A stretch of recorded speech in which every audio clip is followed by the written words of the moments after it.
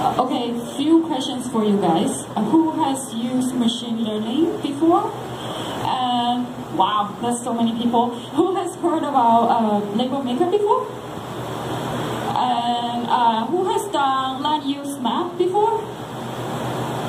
Okay, that's that's majority of the group has done anything uh, related to that. And just think about when you have a high resolution satellite image and you have OSM, uh, OpenStreetMap, right, data, how you can um, match those two up and see like, you know, like uh, what you can do with uh, machine learning.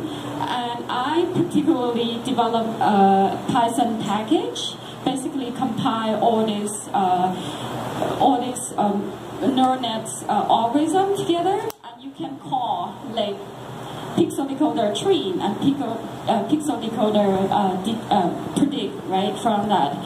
And I am going to show you some of those results. Uh, this is the road network like predicted from the machine learning algorithm, uh, particularly is uh, neural nets.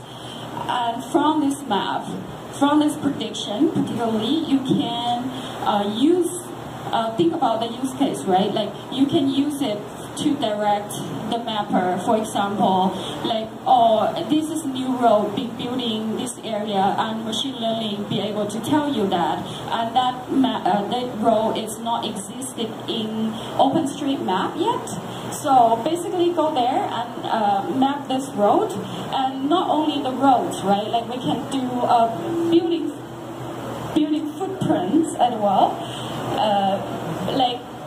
this is new building, like being built, and machine learning uh, funded from the high resolution satellite image, but that is not updated on OSM. So that is can direct the uh, mapper to map that area, right?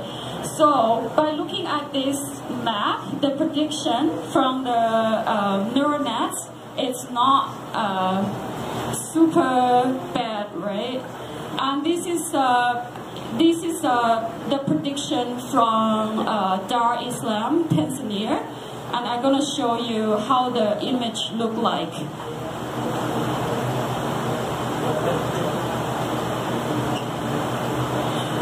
So uh, from the first is the satellite image go into the neural net, right? Like going to the pixel decoder.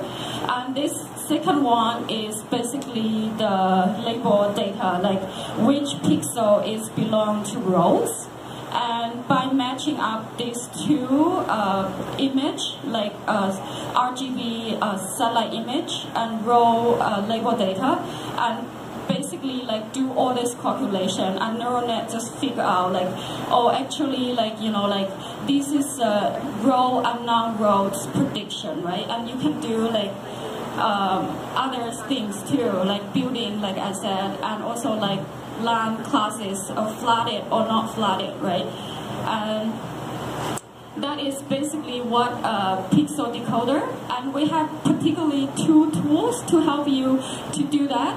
One is label maker. Label maker is basically like pair up the uh, RGB information and also la uh, label data from OSM, right? Like pair those up, prepare the training data, and Pixel Decoder will grab those two uh, data and like do all these uh, neural nets and machine learning on top of it. I'm not going uh, going too deep, but if you have uh, questions, I, I would like uh, I would love to answer that. And uh, then uh, select like you know like different algorithm and see how this performed. And if you are using uh, neural nets and you want to contribute like you know like compile a different algorithm to this pixel decoder or you want to use pixel decoder to work on a different sort of problem, uh, let me know. And I would love to help it out. And, you know, uh, we like to show some like uh, interesting uh, use case. And basically, if you find me on GitHub, my uh, my username is G-O-E, G-E-O-Y-I, and find me there.